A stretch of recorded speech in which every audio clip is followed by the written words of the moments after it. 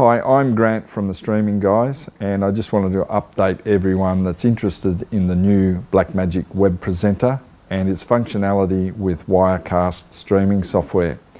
I've just spoken to Blackmagic and Telestream, who make the fabulous Wirecast software, and historically, uh, Blackmagic products appear in uh, Wirecast twice and to stop that happening, they've got a small piece of software that only shows up a Blackmagic device once.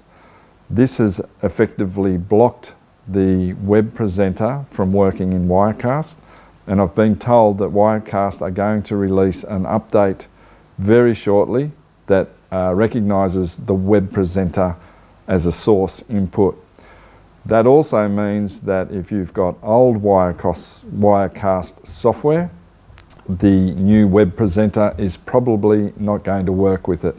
It will work with current um, Wirecast software and anyone that's uh, in version 7 of that software will get a free update and will rec rec recognise the web presenter. So keep that in mind. It appears that the web presenter works in all other software that we've tested with, however, not with Wirecast at the moment.